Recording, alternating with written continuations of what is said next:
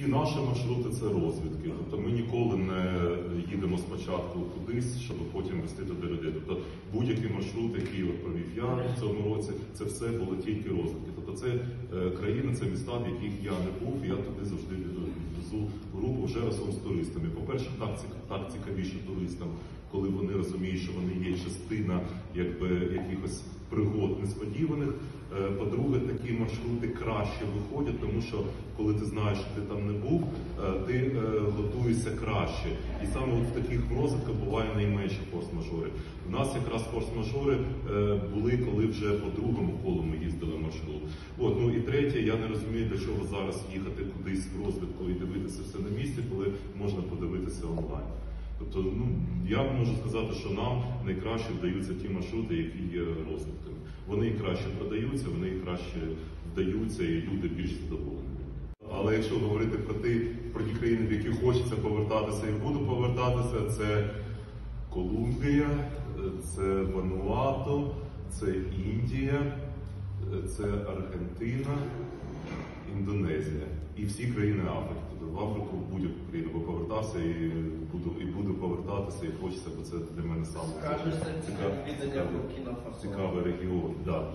От, ем, е, Справжнє відкриття цього року для мене це Казахстан. Зараз в мене Казахстан це країна номер один по природним дивам у світі. Тобто е, ми зараз вже веземо туди четверту групу через е, е, 10 днів. Е, от Ми провели одну групову подорож, дві індивідуальних подорожі.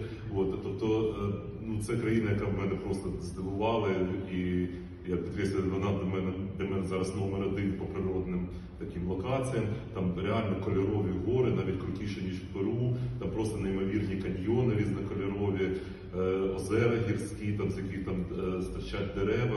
Просто справжня така гостиність, справжні юрти, справжні мешканці. От і е, країна, в яку хочеться повертатися. Хто Е, хоче через тиждень Казахстан, так, через 10 днів, що Через 10 днів, будь ласка, Андрія. да. От. а Потім Європа, фактично в кожну країну хочеться повертатися, і вже, наприклад, є країни, в яких там був і 4 рази, і 5, і 10, навіть такі як Польща, і ще буду повертатися, тому що ще хоч- хочеться більше і більше подивитися. Так само по Україні хочеться, ну незважаючи на те, що я вже нарахував, що я побував десь в 500 населених пунктів України.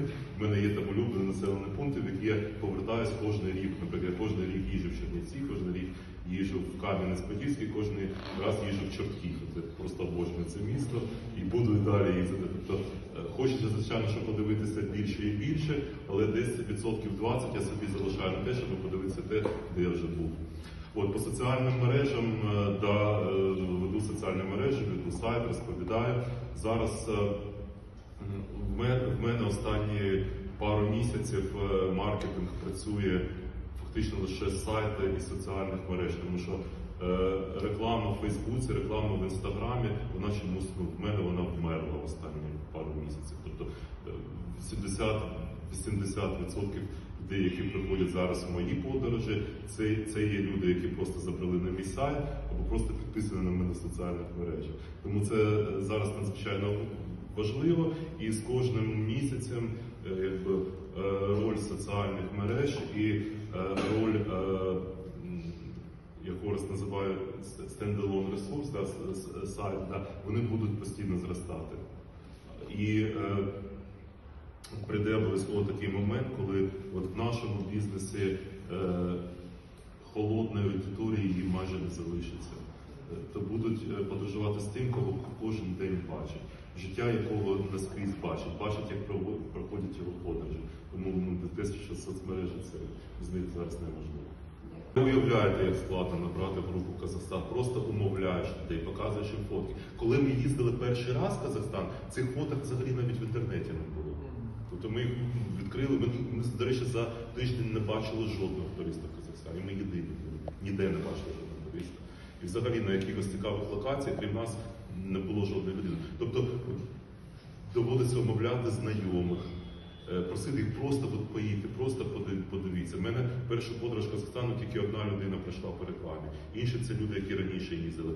Зараз групу е, набрали з тих людей, які просто за мною давно слідкують і просто вірять мені на слово, що Казахстан це класно, тому і їдуть.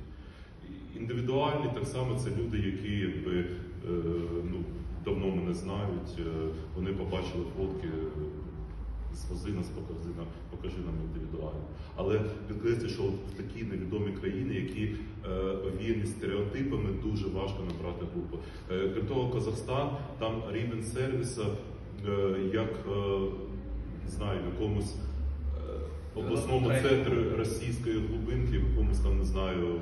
Ліпецьку в 70-80 роки. Тобто е, такого поняття, як сервіс, просто не існує. Такого поняття, як клієнтський підхід, такого ну, в інфраструктурі, там, в магазинах, в кафе цього просто не існує в готелях. Тобто, ну, не, не вони тобі щось винні, а ти їм щось винен.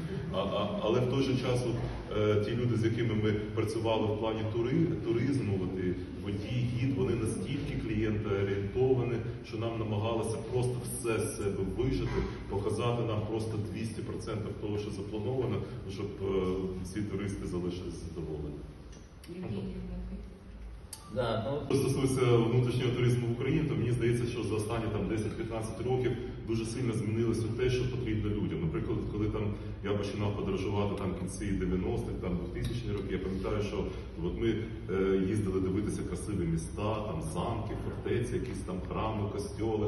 От а тепер люди хочуть дивитися. Ну на мою думку, як я спостерігаю, перше це якісь нові природні е, локації. Їх багато з'явилося за останні там 5 років. Це і Полісся, там е, Херсонщина, там Олешківські пустелі.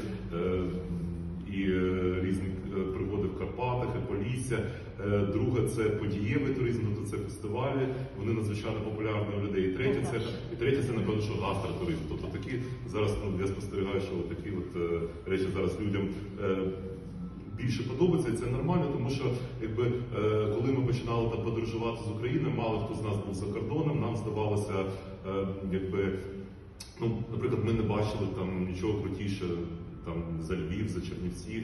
Да, коли ти е, коли ти вже там побував там в 50 країнах, то ти розумієш, що е, ну якби в Україні дуже важко змагатися по архітектурним якимось шедеврам з іншими країнами, але в той же в той же час ми почали відкривати там якісь автентичні речі, на яких теж можна робити бізнес. От які я бачу зараз складності, ну і бачив, і бачу їх. Е, е, Перше, це е, інфраструктура, це не лише дороги, тому що ну в плані дорог зараз, як йде велике будівництво, воно трохи покращується. А в плані громадського транспорту практично дуже важко кудись в Україні дістатися громадським транспортом. Особисто от, е, в такі місця, от Західна Україна, багато ж всього цікавого в якихось віддалених селах, віддалених містечках. Туди, туди просто нереально попасти. Якщо ти якийсь там бусик раз в тиждень знайде е, або раз в день знайдеш, то туди просто не залізеш. Це саме велика проблема. Тобто машини, звичайно, є не у всіх. Не в кожне місце можна доїхати автівкою. Тобто нам треба однозначно розвивати е, інфраструктуру і транспорт. З готелями вже слава Богу, якби все більш-менш нормально. Поїсти теж є де транспорт найбільше мені здається.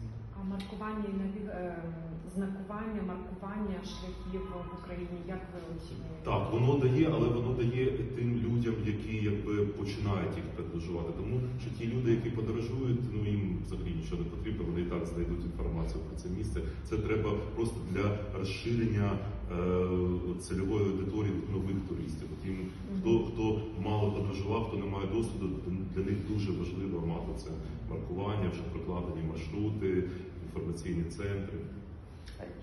While uh, working on a serious, prestigious job, like what else did you have? Якщо дозволити українською. Дякую, дякую за запитання. Дуже просто хотілося подорожувати більше. Причина була банальна. Якби незважаючи на те, що я навіть коли працював на держслужбі, я дозволяв собі все одно десь чотири рази в е, рік подорожувати, але це було мало. Я так як ти хочу відвідати практично всі країни світу. Е, Це перша причина. А друга причина це е, хотілося займатися справою свого життя, тобто справою, яку ти вмієш робити. До, якої в тебе просто горить душа, і відверто скажу, якби е, заходячи періодично на е, твій сайт на openmind.com.ua, е, це також м, читання твоїх матеріалів, твоїх статей, воно теж зіграло дуже важливу роль в прийнятті рішення, щоб залишити державну службу і піти заробляти гроші шляхом, який тобі ну, більш приємний і тим, е, чим ти е, вмієш займатися. Хоча насправді, поки я якби не, почав зачитуватися твоїми матеріалами, в мене навіть думок не було е, піти заробляти гроші за допомогою свого хобі. От От ну, так, так сталося, що ти на мене теж повпливав. Дуже приємно, дякую. Клас. Окей. Да, друзі, ну насправді у держслужбовця, як і у будь-якого працівника найманого, є відпустка. Відпустка у держслужбовців один місяць, але оскільки в мене був великий стаж, мене ще було 15 додаткових днів відпустки, тобто фактично це було 45 днів е, відпустки, в які можна було подорожувати. Е, І ще були якісь свята, десь е, вдалося брати там відгул, вихідний. От, але в чому якби прикол? Держслужбовців не дуже відпускають відпустку. Наприклад, ну, мене завжди в мене завжди були нормальні керівники, і вони знали моє хобі, вони знали якби моє захоплення, і вони знали, що якщо я якщо вони мене підпустять, я повернуся, я буду пра- працювати краще. Тому мене завжди завжди відпускали, на відміну від всіх моїх колег, яких відпускали в рік максимум на тиждень на два.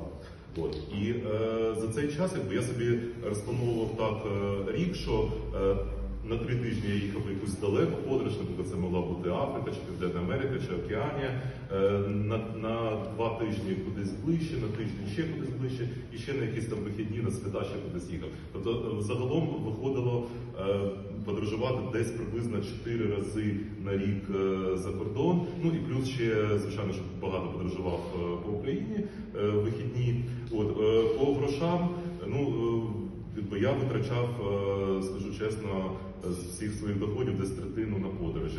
Ну називати цифри чи не називати, я не знаю. Якби ну повірте, що це Ти можеш назвати одну якусь цифру, а ми все вже все порахуємо. Ну, наприклад, наприклад, мої доходи були десь е, від 450 до 600 тисяч гривень в рік. Е, Держслужбовця. Так. Окей. Ну, добре. Це без е, цих, е, без премій. Це з премії. З преміями. А, окей. З офіційними преміями, неофіційних не було ніколи. От. І е, звичайно, що хотілося подорожувати більше.